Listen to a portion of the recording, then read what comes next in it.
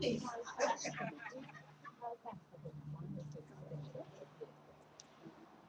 Let's just pray. Father God, we just bless you today. We thank you for this time to be not just in your presence, but we come to your presence today for a purpose.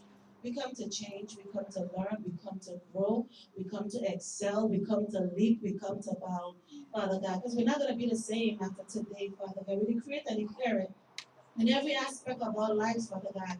That the Egyptians that we saw yesterday, Father God, they're the same Egyptians we're going to deal with this year. We're going to deal with bigger things, better things, Father God. And we decree and declare that we will come with ease, Father God, because we come, Father God, not just come seeking your hand, but we come saying, God, here we are. Change us, mold us, make us, reshape us, change our thinking, change our walking, change our thought, thought, talking, God, change everything about us, Father God, so that we could be more like you, so we could be effective Christians, Father God, and do the things that you have called us to do. That's why we're here, God.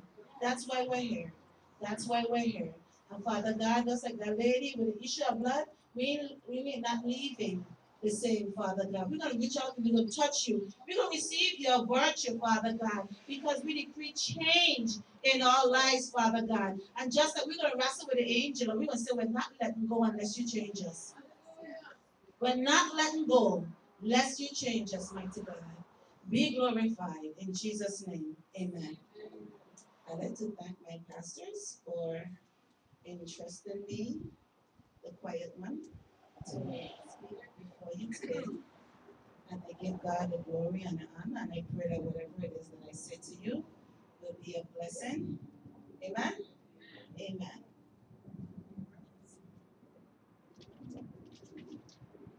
I had an excerpt taken from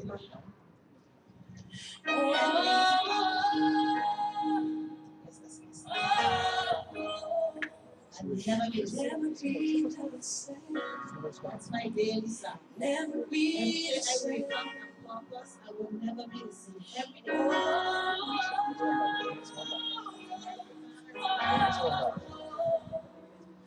Never be the same. Hallelujah. Never be Today the same. I'll never be the same. I'll never be the same and apply to this. Tomorrow can never be the same and apply to that. But I purpose every day that I'm not to be the same. Something got to change every day. Something bit by bit, and eventually I will get to where I need to be. Something is going to change. Amen. I have an excerpt taken from Henry Blackaby. Now, Henry Blackaby is a well-known author, and he wrote a lot of books on experiencing God. Experiencing God day by day, experiencing God leadership, different aspects of experiencing God. And the excerpt that I have is a particular conference that he has, and he have praying for a change. I was like, wow, I like that. Praying for a change. Yeah, we are. Everybody to talk about experiencing da. But prayer is my thing. So I speak on my thing. And I like his theme, praying for a change. Not just praying. Praying for a change. I ain't gonna pray for a cinema because I said my purpose is my prayer. No. I want to see a change in whatever it is since I said my situation is. Me gonna pray because I have well, that's 10 minutes to dedicate to this and and no, because when I finish praying for Sister Isilva, I want Sister Isilva's situation to change. It won't make sense for me to spend my five, ten minutes praying and then the same thing still there troubling the sister for she to come back tomorrow to meet the stuff again, to listen to the same thing, to hear the same thing, to go pray again. That's just me. Isilva, I'm gonna pray against because So praying for a change. He also went to talk about Isaiah's encounter with the year Uzziah died. And we all know about that. The year that Uzziah died, he saw the Lord high and lifted up, his train filled the temple.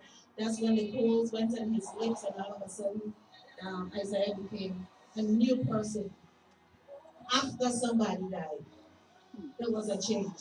So now it wasn't the same old Isaiah anymore. Now, this Isaiah was a new revolutionized, powerful Isaiah that was going out ready to do exploits that he was not in a position to do prior to. That's what I'm talking about. A change. So again, the focus of this, his theme for this particular conference was a change. What have we been doing or have not been doing that has brought our nation to where it is? What have we been doing? Or what it is that we wasn't doing that caused whatever it is around us to be how it is? At the end of the day, whatever around us is our fault. I said, I mean, I would love to say nicer. I really would love to, but it is what it is. It's our fault. You know, it's either because of what we're doing or what we're doing, or maybe we could do something different, do it better, do it more often, something. But if we do it correctly, then we wouldn't have that particular situation. Amen. Again, I ain't come to be nice. It's about learning, reapplying, realigning, and doing it differently. So 2016 will be different and better from 2015. The question is, what kind of praying have we been doing that has not made a difference in this nation? And he went on to say, we don't need more praying as much as a qualitative different relationship with God. That's it right there. But rather casual praying, and we no longer believe that when we pray, God can affect the nation. You see, it's not so much about the quantity of praying, praying, praying, praying, praying. What is the quality of the prayer? What is the quality of the relationship with God? Because I'll be honest with you, right? If you get real close to God, there's a lot of things that you wouldn't even have to pray for. Because a lot of things wouldn't even come near you. A lot of things wouldn't even bother occur just because, listen, Sister Iselma is praying, Sister Iselma is close to God. I know I can't fool with Sister Iselma. And guess what? Sister Sharon knows Sister Iselma. So I can't go mess with Sister Sharon either because Iselma gonna hear about it and Iselma gonna come after me. Right or no?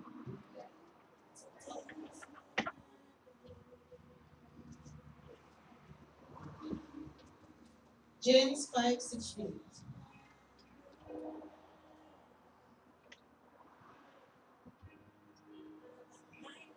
James chapter five verse sixteen.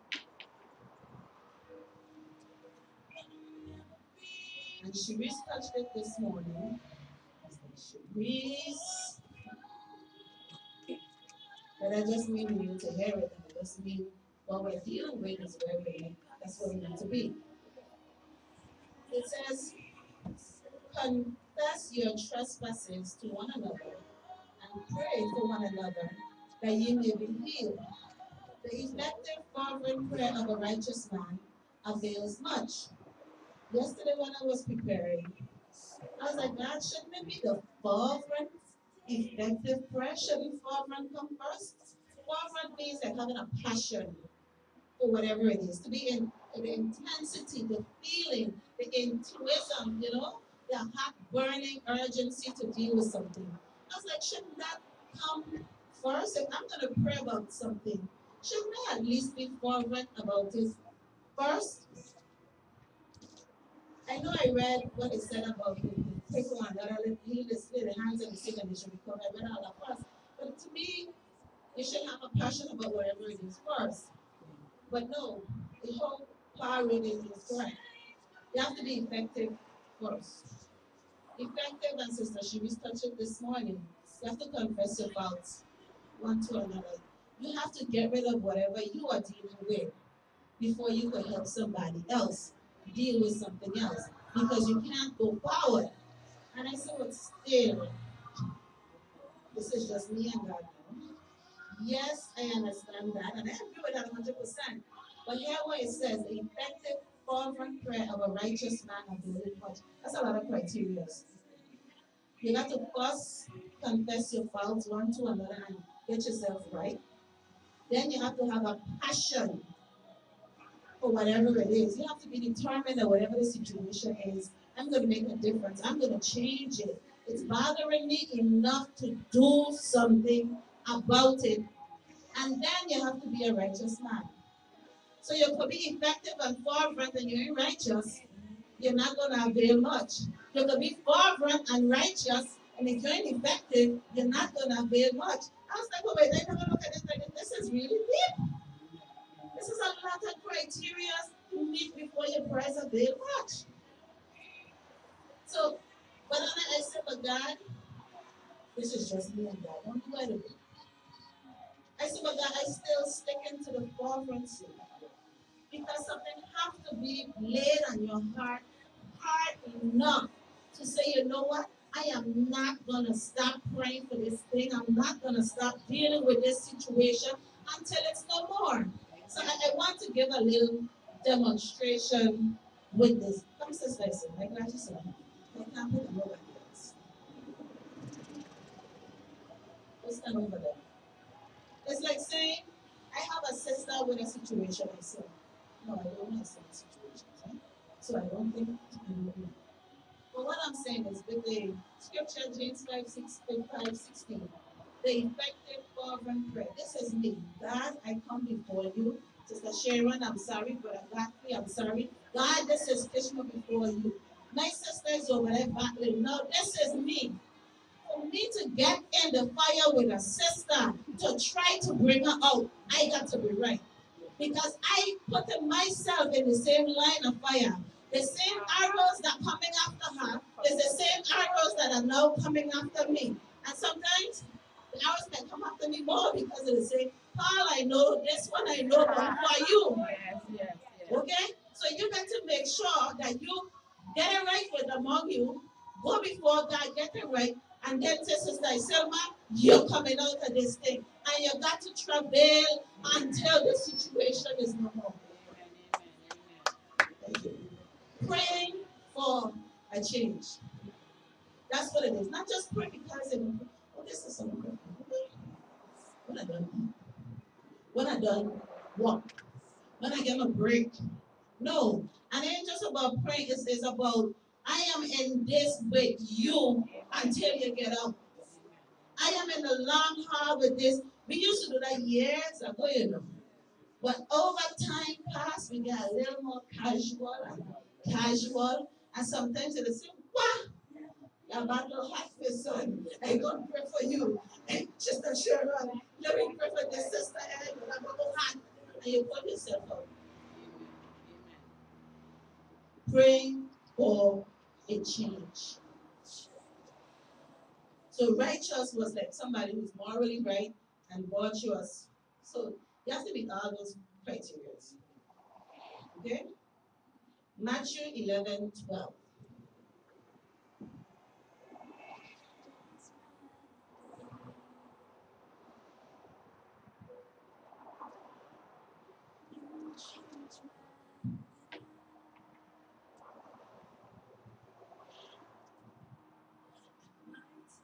Matthew 11, 12 says, And from days of John the Baptist until now, the kingdom of heaven violence, violence, and the violent take it by force. You know, how much time we, we, we, we sit and like we waiting for God, we waiting for God, we waiting for God. And nothing is wrong with that, you know, but a lot of times God waiting on us. Nothing, and I, I had a situation and I shared it with Pastor Everett that I was praying and praying and praying and praying and fasting and praying and wailing and praying and he is sleeping and praying, everybody praying. And I said, Pastor this, this, this thing just be watching. And I said, I don't believe in praying for something for so long. That's just me. I believe God said, you know, you speak to it and it will move. God said, greater works than Jesus did, we shall do. God said the same authority, we have it. So I, me personally, everybody is nothing. I really don't believe in praying for something. There's a pastor, when you read this in maybe it's a different something. She said, "Which one?" I understand that, Pastor. And I said, God, I will do something about it. You fix it when I do. You fix it. That's my problem anymore. I did, did, did, did, I did my part. Okay, now I am going forward. You come behind me. You fix it. That's so sad, so good. That's faith. So what do we need to do to take back our rightful place? Again, praying for change. What do we need to do to take back our communities? What are we doing to take back our families? Are we willing to get in a vehicle and go along the road at night and stop our niece or nephew from doing something stupid? Are we willing to wrestle with them and take the car keys and say, ain't no way I'm gonna let you get from here? You can fight me, but I ain't gonna take it personally. I'm not gonna let you do it. Or we gonna continue to wait and say, God, cover them and bring them back home. How much, uh, how, how bad are things bothering us that we want to do something about it? What are we gonna do to take back our children? To take back our nation, to take back our streets? St. Thomas, 32 square miles. Again, praying for change. What change do we need to see? And what are you willing to do to see that change? Henry said, little prayers will not do it. Passionate, persistent, prolonged prayer will. I remember when our prayer meeting, Sister Sharon, we never get about the ground dry eye. When we get up off the ground, everybody's sweaty and funky. All you need to do is put up your religious finger going, you can't go home. Because it was in no state to sit down in the chairs and congregate. That's how our, our prayer meetings used to be.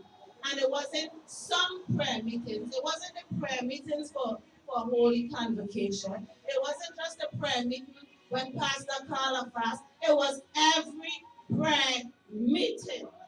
Sister Sharon, wrong? You get up, somebody got to fix your clothes quick. Somebody running with your hair piece quick. Somebody running with your shoe quick. Because when we got done in prayer, we met the same thing. We went down fighting, wasn't getting back up.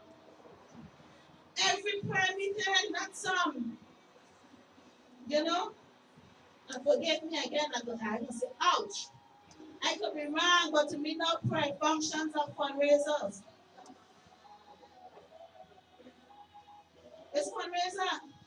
Twenty dollars for prayer breakfast. Two hours because we went in the building and we got her to come out. Again, I didn't come to be nice. I come for us to realign and redirect so we can get it correct. You know, to me, yes, you could go to a prayer function and get iron sharpen iron. To me, it shouldn't even be about that. Because you shouldn't sharpen me enough to go back to deal with whatever it is I was fighting before. I'm supposed to come to a prayer session. We're talking about church prayer meeting. We're talking about the community prayer meeting. I'm supposed to go and learn a prayer point that I didn't know before, learn a strategy that I didn't know before. Because me won't come out and fight the same a foot situation. For a foot that done pass you because you done dead. I going on to the six foot because I have to move beyond that. My blessings are tied up in the ten foot. And if I stay here with a four foot, when I gonna get what is mine? But sometimes we get so caught up in fighting. Fighting. Yeah, but it's the same thing. It's the same thing. We still fighting for paycheck to live, paycheck to paycheck. The paycheck one day late, everything back up. Checks bouncing like crazy. They got call a landlord, they got call back, they got call everybody. Check one day late. Where we gonna move from that? I'm not going to a prayer meeting to get sharpened, to go fight the paycheck to paycheck. I am going to a prayer meeting. Again, I'm not talking about church prayer meeting. I am talking if I go go out to a prayer meeting. I go into a prayer meeting because I want to know. I done with that. What can I do to take me under?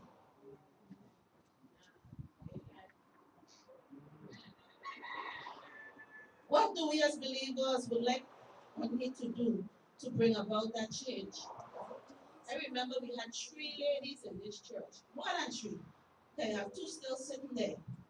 We're talking about Sister Lake, Sister Eddie, and Sister Leonis.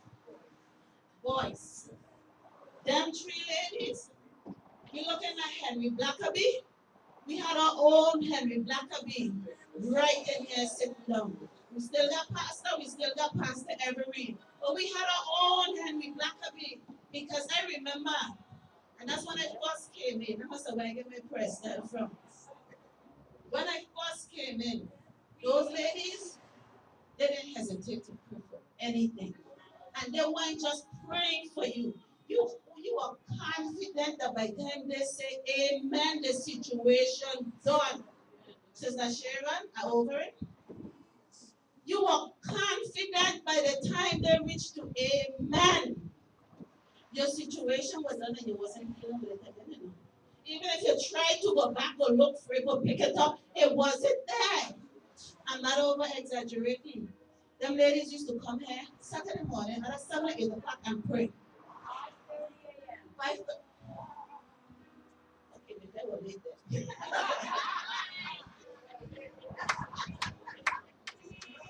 Them ladies used to come back here Saturday midnight and pray. Them ladies used to come back here Sunday morning and pray.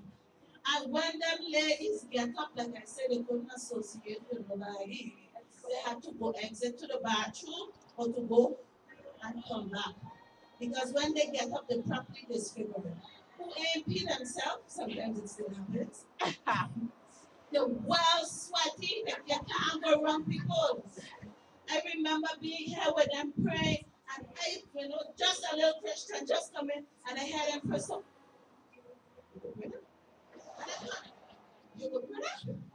I said, hey, I know if I right way walk. It sound like that's a prayer where you're supposed to pray, but it walk and the situation ain't come back again. So those that's how I do pray. So I can't provoke my husband. Because all last night, Pastor Evelyn for praying for me. She said, Your husband's scared when you pray. I said, It's true. She called him in and she talked to him. He said, My wife? We had my wife pray. And I said, Pastor Evelyn, I can't even pray with my husband. Because I swear my husband will start calling people and say his wife has lost.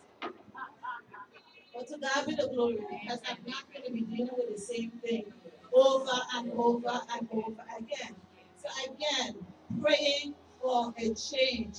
Do we want to see a change? Are you willing to go in the battle for another sister and bring them out? Because guess what? When the two of you are now fervent and effective and righteous, then the two of you go home together and go in another battle for another sister and bring her out. Even remember Happy Hour? The woman used to come from ah, oh, all over the island because the woman in global life when them pray, that's the end of the situation. And back then it wasn't like it wasn't like the big prayers pray.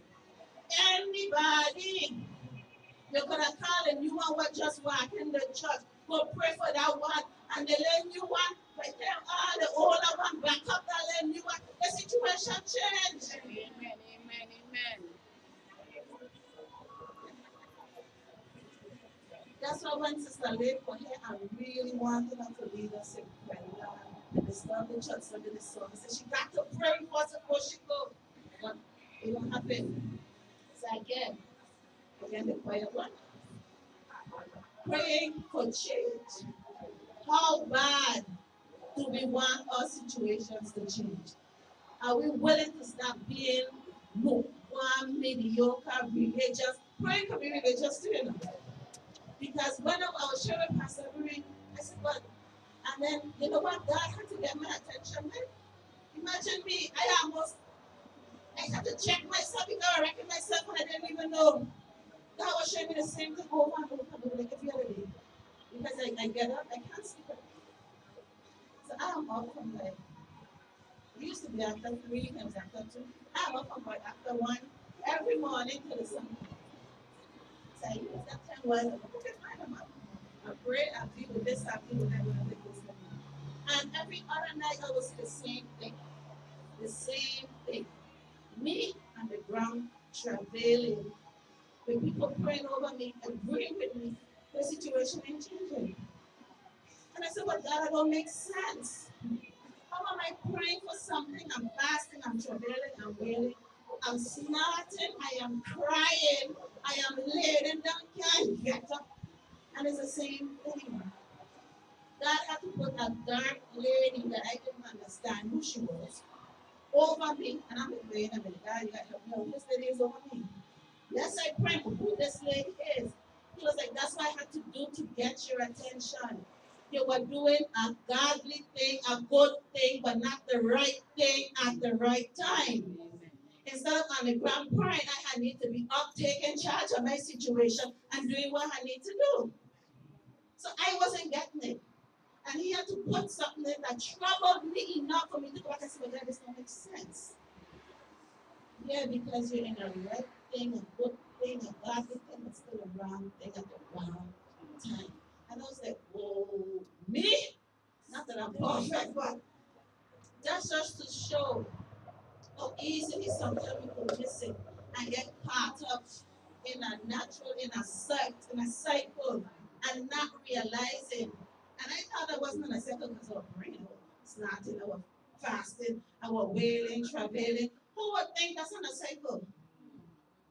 Who would have thought that was on a cycle? So I share my experience. I don't tell me about it tomorrow now. But I share my experience to realize how much you, even though you're doing what looks right, it was still wrong at that time before the Lord. So again, praying for a change. Now that we have our solemn assembly, now that we know, let's go forward to make a change. Amen.